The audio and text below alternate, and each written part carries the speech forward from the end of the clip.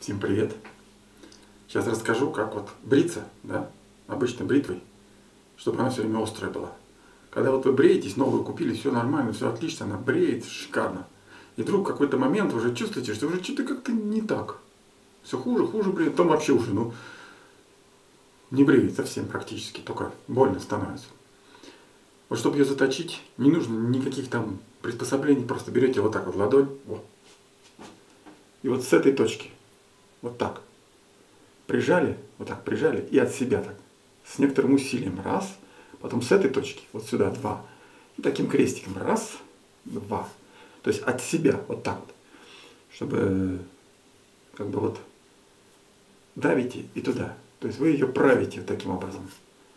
Кожа человеческая является хорошим таким вот для этого дела подходящим инструментом. И ничего лишнего не надо, просто по ладошке вжик-вжик-вжик, и она опять остренькая.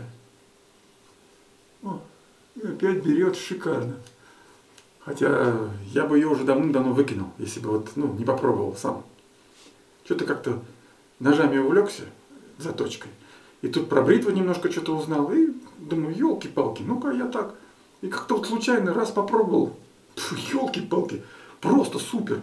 Вообще острющая становится. За, за несколько движений вот за таких вот. И править ее можно сколько хочешь и когда хочешь. Не надо никуда ходить, прямо тут же.